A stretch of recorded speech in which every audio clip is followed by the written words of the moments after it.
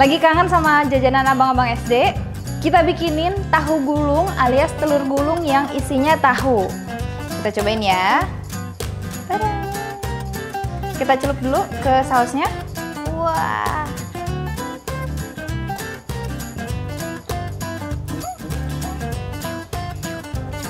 Langsung berasa kayak abis beli dari abang-abang depan SD. Ngangenin banget. Gimana cara bikinnya? Langsung aja yuk.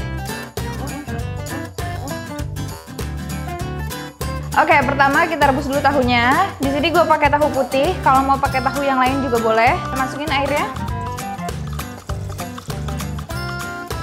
Sekarang kita masukin tahunya.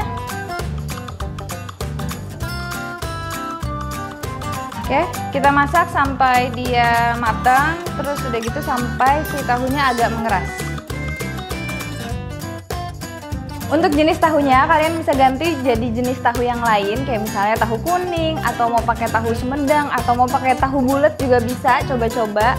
Mau pakai tahu sutra, terserah kalian, bebas, sekreatif mungkin. Oke? Udah matang tahunya, kita angkat.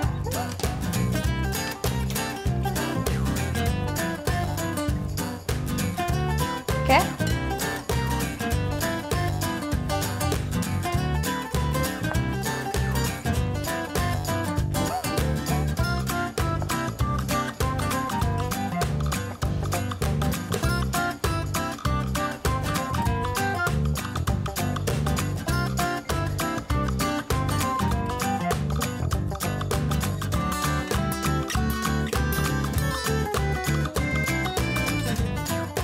Udah selesai kita potong-potong. Sekarang kita tusuk-tusuk si tahu ke satenya.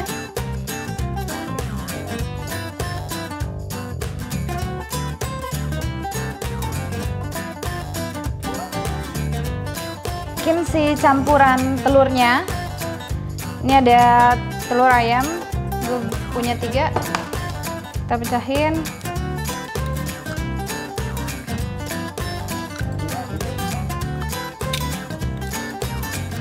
Ada kaldu bubuk terus ada garam.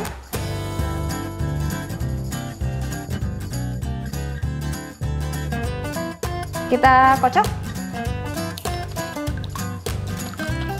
untuk takaran seasoningnya yang kayak lada, garam, sama e, kaldunya itu disesuaikan sama suka-suka kalian jadi misalnya suka asin, garamnya bisa dibanyakin kalau misalnya suka lada, suka pedas lada gitu bisa dibanyakin juga. Kalau mau tambahin gula biar uh, ada uh, apa? Kayak hint of manisnya. Okay. Yang penting udah kaduk rata. Sekarang tinggal kita goreng-goreng. Oke, sekarang telurnya mau gue masukin, gue pindahin ke dalam botol. Nah, sebelum dipindahin ke botol, kalau emang punya corong bisa langsung masukin uh, lewat corong. Berhubung gue nggak ada corong jadi ini kita masukin aja ke sini dulu kita pindahin ke gelas yang ada moncongnya baru kita masukin ke dalam botol oke ini udah tinggal kita tuang ke dalam penggorengan tapi sebelum kita tuang ke dalam penggorengan kita pastiin dulu minyaknya udah panas Cara buat ngecek minyaknya udah panas atau belum, cari kayak uh, sepotong kayu gini atau bisa juga pakai spatula kayu. Dimasukin ke dalam minyak. Nah, kalau dia udah berbuih kayak gini, udah berbusa, berarti tandanya dia udah panas. Tapi kalau dia belum berbusa, berarti belum panas. Tungguin sampai dia uh, berbusa kayak gini. Jadi, gue akan masukin telur, terus digulung pakai uh, tusukan yang udah dikasih tahu tadi oke okay?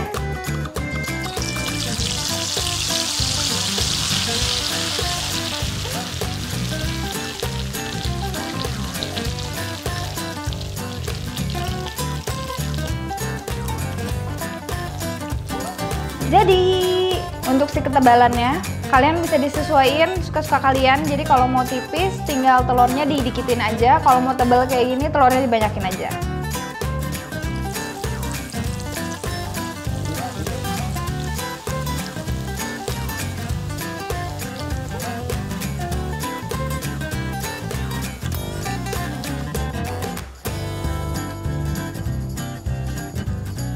Oke, sip. Selesai. Kita potong daun bawang buat garnishnya. Gue pakai yang ini aja.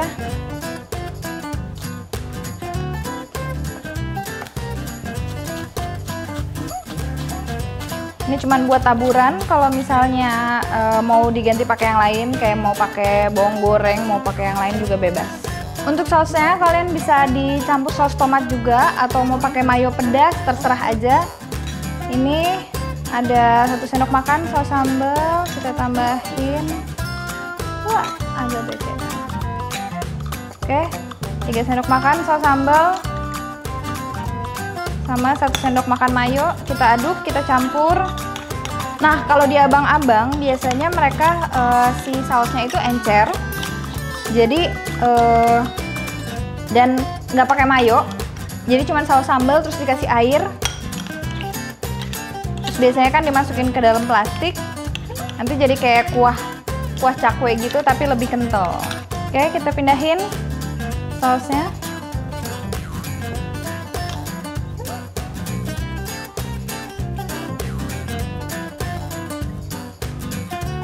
Kita susun si telurnya